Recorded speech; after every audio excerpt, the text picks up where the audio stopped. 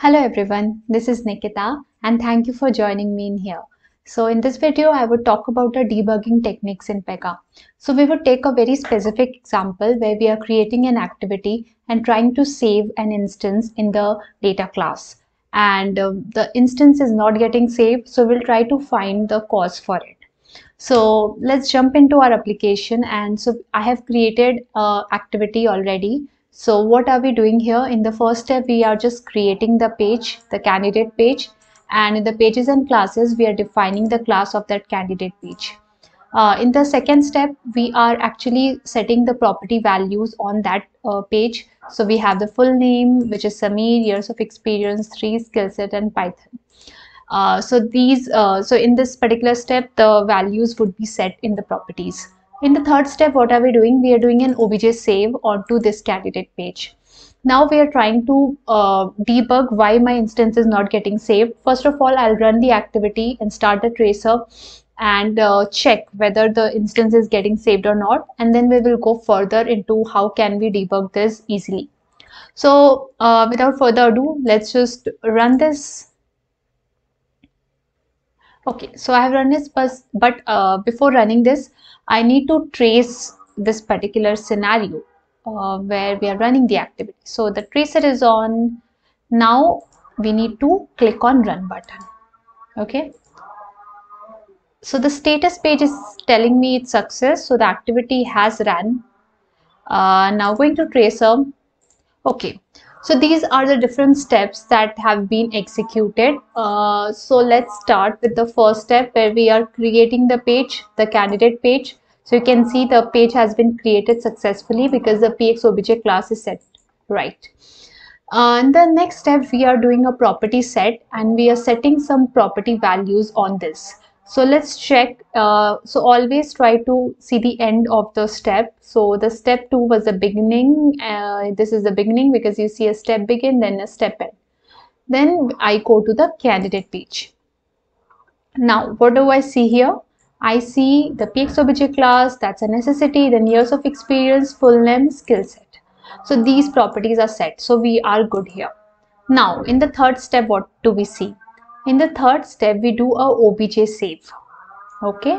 So i can see in the obj uh, obj save this particular properties all are present so that's okay.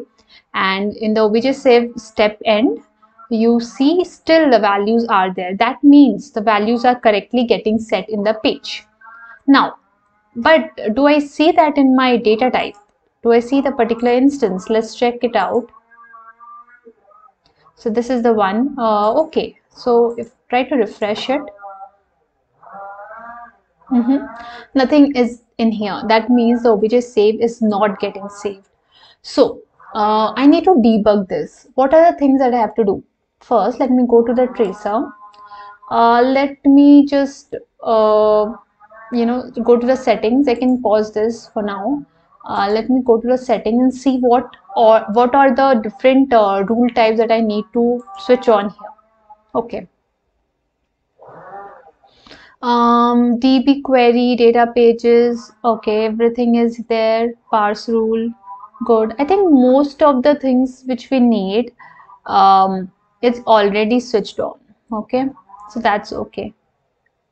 Um, okay everything is all right in here now, uh, I need to see whether my SQL query ran fine or not.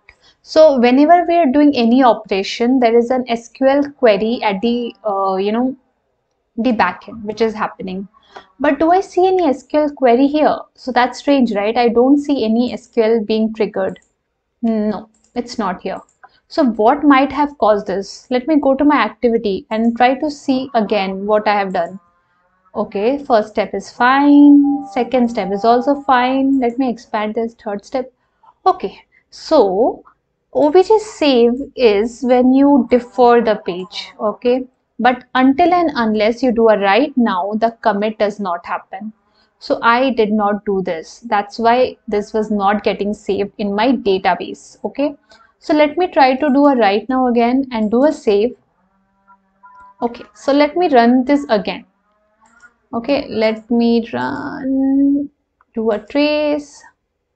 Look closely in the tracer this time.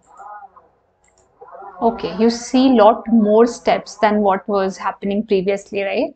So the first uh, one and two steps are still the same. Coming to the third step when you start the obj save you see uh, this merge and commit steps right? So what are these so let me try to go to the commit step so it's saying that save instances of the class but what else might have ha happened do I see any SQL query I don't see any SQL query. Oh, I see. So these are the insert statement that was happening in my uh, table, right? So you see that you what, what are the things that you are inserting? You're inserting full name, skill set, years of experience, and some other, you know, some out of the box properties that gets inserted at the background. All those things are getting uh, fired. So the insert query is happening. So that means now when I go to my data type, I should see the instance. Let me see if I can find that now. Let me do a refresh.